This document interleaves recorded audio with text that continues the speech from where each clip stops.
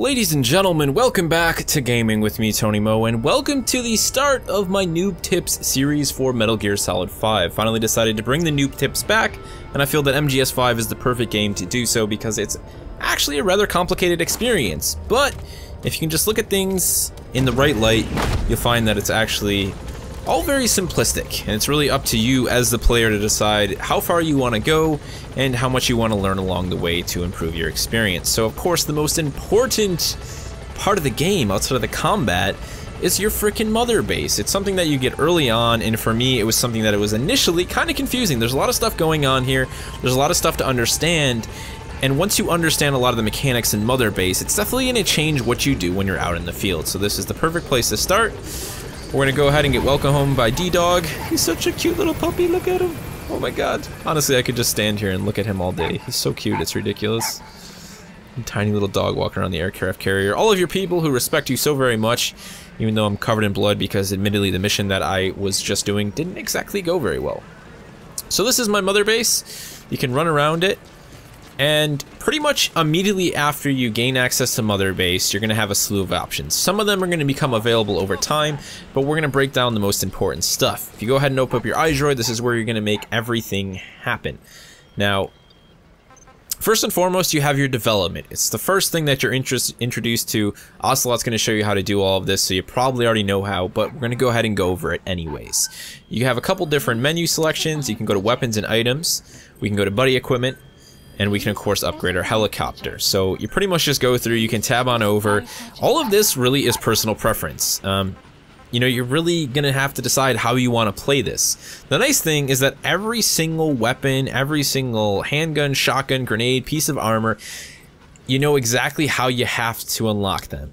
And for the most part, it's all about the amount of GMP that you have, which you pretty much always seem to have enough of, and the level of your R&D team in this case. So in order to develop the splitter camo, splitter camo I should say, I need to have an R&D team level of 7. My current team level is 5.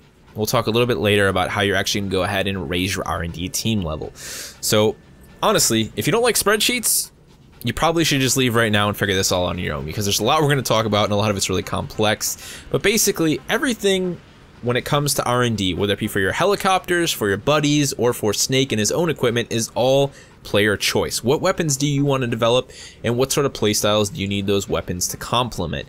In my case, I've stuck with a lot of the suppressed equipment. However, the first thing that I did go ahead and purchase was the Renault sniper rifle because I knew that I was going to need it for assassination missions early on when I just wanted to kind of stay out and take care of things. But you can see there's a lot of other tools here. We've got shields, you've got different hand grenades and decoys you'll eventually be able to unlock. All of it, again, depending on your R&D team level, as well as a slew of other things. You can see these capture cages here actually require biological material, as well as a black carrot. So this is actually to support small animals. Um, you know, if you want to save more sheep, I'm all about saving the sheep, as you guys saw in my last video. Uh, basically, it's really straightforward what is here. You know, it seems a lot more confusing than it is, but it's just, you know, it's real simple. And in fact, I've reached R&D level 5, so I'm going to go ahead and develop my battle dress for D-Horse, which is going to give him some camouflage and hopefully a little bit of armor, which is awesome. And I've already developed some of my stuff for my helicopter, so while this menu seems really confusing and you're probably sitting there thinking, what am I supposed to develop next? I don't know what to do. Like, what should I be focusing on? Again, it's 100% up to you. There is no need to search out what other people think about what you should develop. Just do what's going to fit your personal playstyle. Moving out, we're going to take a look at resources. So resources are all of the things that you've gathered throughout the course of your missions. And again, once you realize how important resources are to the development of Mother Base, you're going to be much more um, aware of them when you're out in the field and you're going to go out of your way to collect them. So you've got fuel resources, biological material, common metals, and minor metals. We've also got unprocessed materials. We even have medicinal plants. And then you can see that we also have weapons and vehicles when the time comes. You'll be able to actually go ahead and either sell these vehicles or you know do a number of different things with them.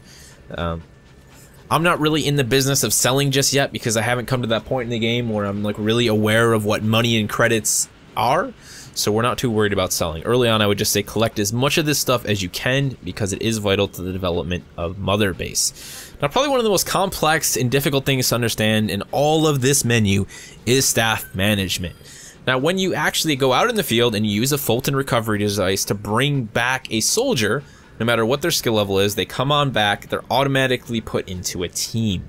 And we can see that we have the R&D team, base development, as well as the support unit. Right now, we only have Miller on base development. You can see that Ocelot is still in the waiting room.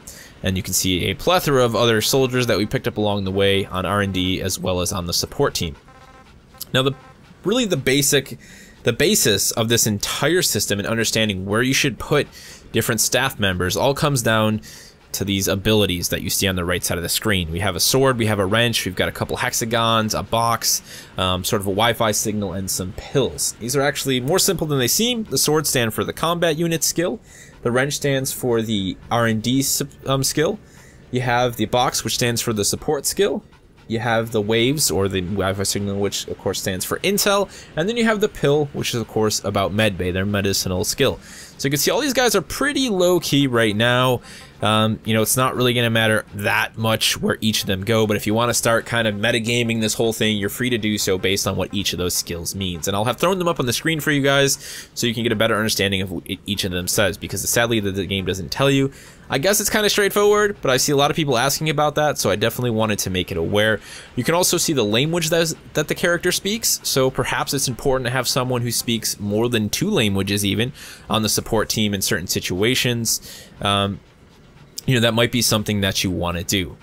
Now you can see there's another important element, and that is the specialist skill. All of these guys, they're just kind of standard Joe Schmoes. Sly Harrier, good for him, he speaks English and Russian. Running Whale, good for him, he speaks Ukrainian English and Russian. However, if we look at Okray Capybara here, you can see that he is also interpreter. So not only does he speak Russian and English, he can actually interpret them.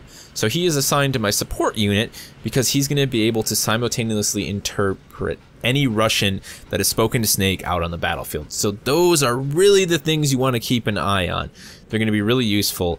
And you can see that he also has a support skill of C, of C, so he's pretty much higher than anyone else on the list. So that's really what this whole system is about. And as you go throughout the game, you're going to gain, um, you know, staff members with higher abilities. Um, you can see we've got a diplomat here, lessens instances of troubles with the unit. Um, we've got the gunsmith. He's assigned to the R&D to relax shotgun development and usage requirements, and he also enables the development of derivative models. That was a good one to read that way. That way.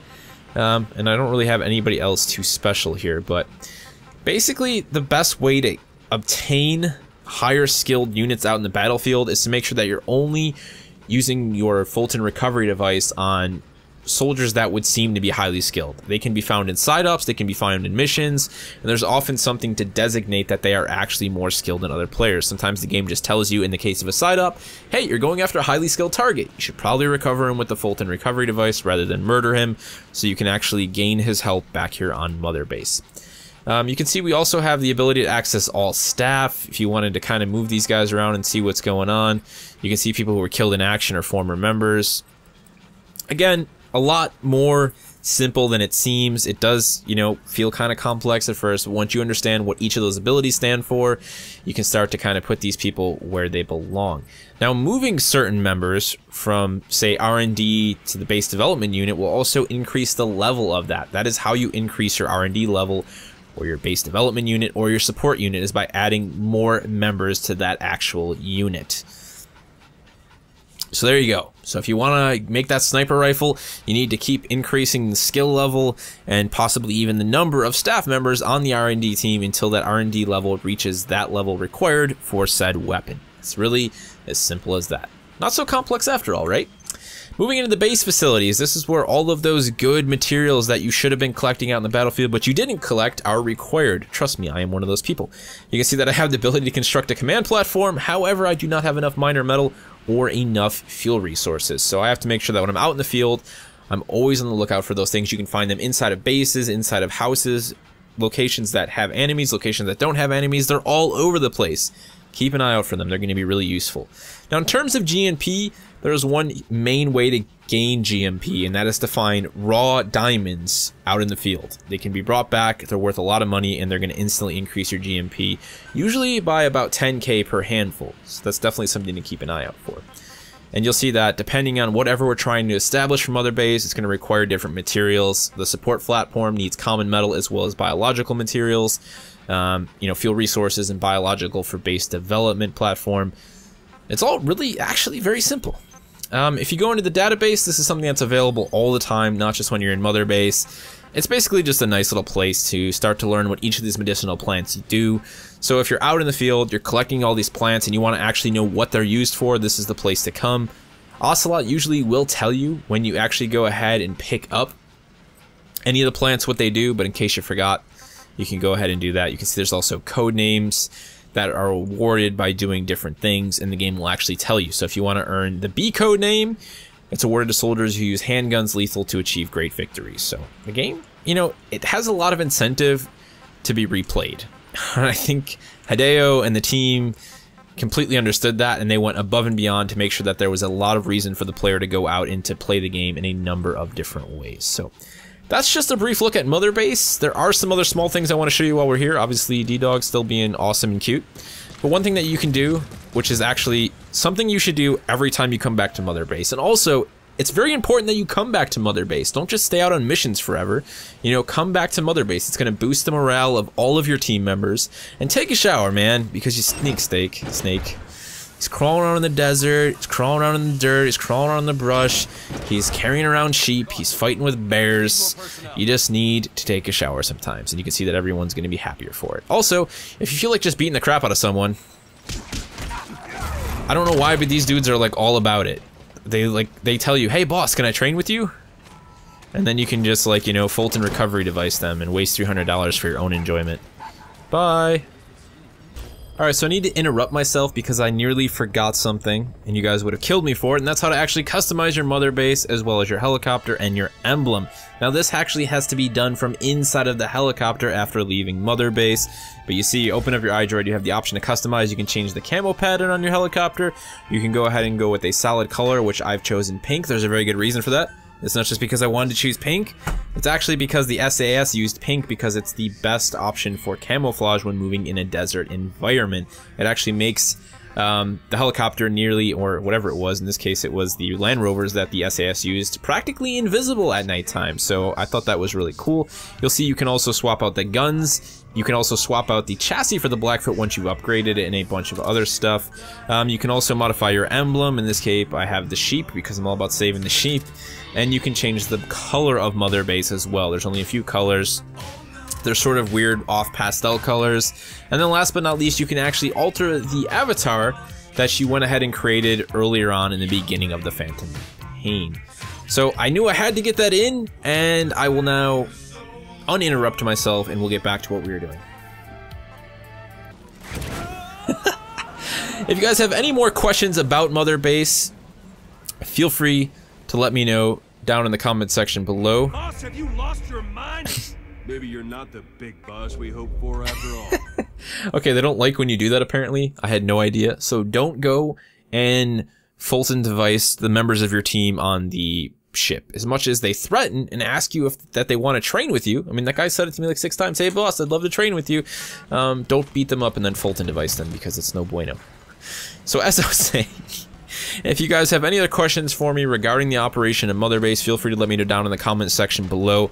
Now, as I said, you have a lot of those different units that are available. I want to briefly go over this one more time inside of your staff management as you increase the number of platforms and the different you know components within your you know ship this stuff also going to level up you're going to be able to expand mother base and there's going to be a lot more things that you're going to have to manage it's not going to get any more complex but there's just going to be you know, you're going to have to keep an eye on it if you really want to make sure that Mother Base is growing and prospering. At the end of the day, it's just going to let you get cooler stuff to mess around with in the field. So it's definitely a place to focus on. Don't just blow it off. Early game, it's okay. I understand you're just getting into it, but come back here and learn how Mother Base works as soon as you possibly can.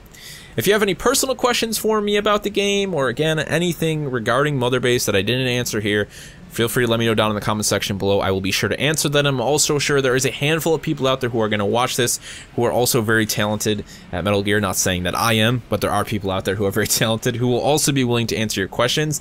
Let's make sure that the comment section below for all of these noob tips videos inside of the Metal Gear series are just a wealth of knowledge. We managed to do that with XCOM. I would love to do that again.